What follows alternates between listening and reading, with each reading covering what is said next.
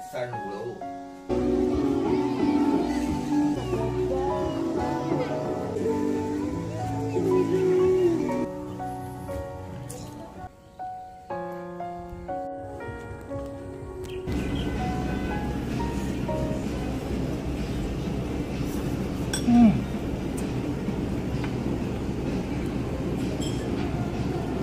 粉色的藕。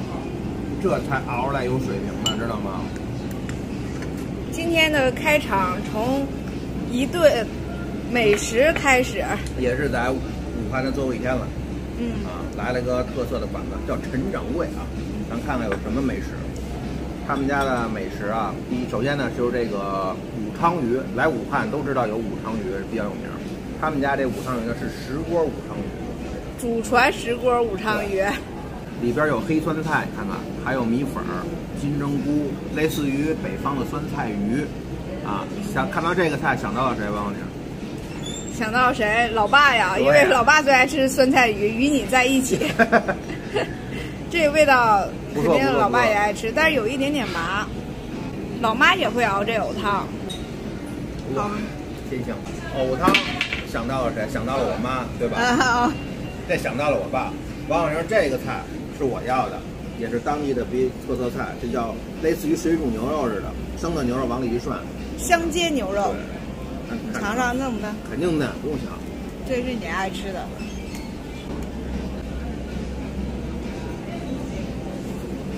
嗯，太嫩了，配点米饭绝了。看人家这米饭是一桶一桶的，吃得了吗？咱俩？吃吧。还有排骨呢，哎，我排骨。鱼还行，鱼大不多，差不多有一斤多吧。知道武汉为什么叫武汉了吗？捂着出汗，到武汉真是热。吃饱了，喝足了，看看啊，咱坐地铁去一个新酒店，借媳妇儿光，媳妇儿非要换个酒店，我说这挺好的，要换一高档的。你要要主是勤俭持家，知道吗？怎么那么假呢？我不想游泳，非要定个游泳的酒店。最后一天了，你还不享受一下？走吧。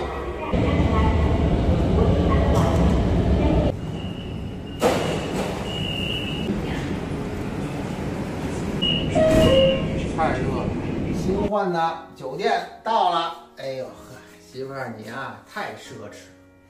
我怎么奢侈了？我咱这个还哪儿就就我觉得都行，我觉得住招待所都无所谓，不就就睡一觉嘛，是不是？那你怎么知道睡得好与不好啊？确实这还行，来看看什么样啊？这酒店第一次住过那么好的酒店。你拉倒吧你！来，来看这是什么？呵，卫生间这是。呵，干湿分离，家伙，快，还能泡澡呢。为啥俩门啊？这边不是洗澡的地儿吗？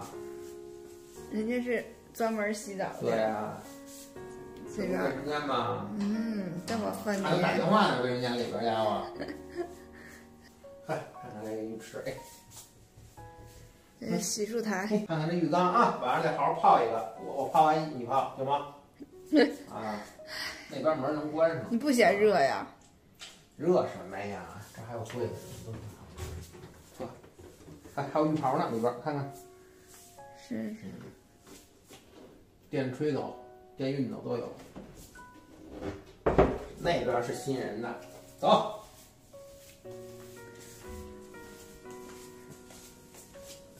啊，这叫行政套房是吧，王老娘？本来我订的是园艺大床房，结果他给我升级了，升了一个那个行政大床房。我觉得还好，从这边看过去是这样，浴缸就在这儿，这门都关上，把门关上吧。不关了。不关了啊。嗯。看这儿，这是最出这是沙发有个大阳台，观湖啊，走。这是一个大阳台啊，走出去。好热呀！哇塞，哇，能看见湖吗？能啊，这不是湖吗？这也就是这个酒店最出彩的地方。这儿真的环境真的挺好的，这儿都是绿植。嗯，就是挺安静的。咱住这酒店住的就是环境，是吧？那个湖是沿溪和湖，沿溪湖，啊，这儿离市中心也挺远。嗯，干嘛呢？别照，别照！我刚洗完澡，你照什么呀？我看你穿这个特搞笑。没没穿过。跟着媳妇儿住这么高档酒店，真长见识。看看这绿化，这环境，绝了。我们住那个楼。啊？听见了。你又？真热，现在六点了，哎呦我的天哪！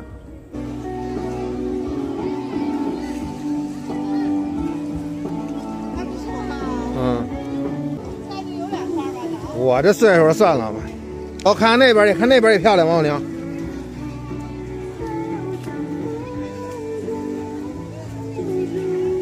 沿西湖，许愿桥，走到这儿的人什么媳妇儿？这应该是同心锁吧？嗯。两个人同时那个绑嗯。的。喝，喝，喝，凉快凉快凉快。不错，酒店住的舒服啊！你有功了啊！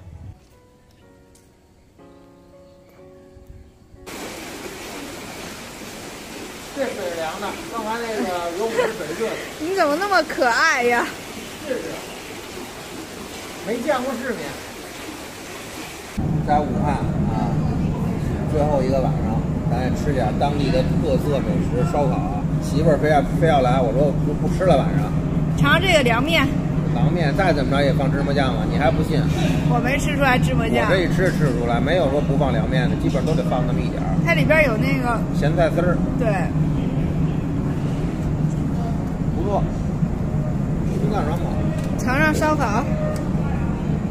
这是什么呀？肥肠是吧？你的。你的。嗯。烤的怎么样？不错。不错不错不错。奶香馒头。好吃。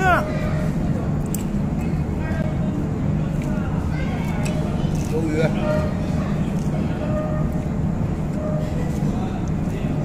六块一个。酒店大堂多气派！我还想去游个泳去呢。这水池子热，你怎么游啊？那我也能游，我去游泳去了。走，回去。走，再看看观光湖。今天热吗？也是热呀，看着太阳又暴晒。今天刚八点多钟，要得三十五六度。哦，看看远观，今儿有风。哎，那都是热风。啊，咱们这属于纯度假。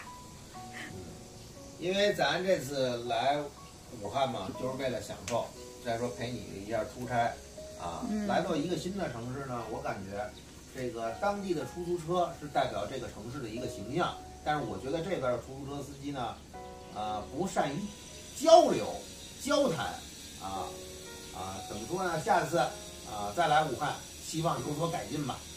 哈，可能每个人性格都不一样，理解嘛。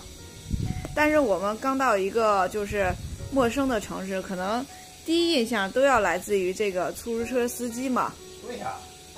所以，此番只是路过，下次必定是重逢。走吧。你又把我话总结一遍。走吧。还想吃点什么吗？火车站呗，咱下楼走啊。走。提起武汉，你最先想到的是什么？美食、大桥、江水、黄鹤楼。还是这里的人，期待下次重逢时你别来无恙。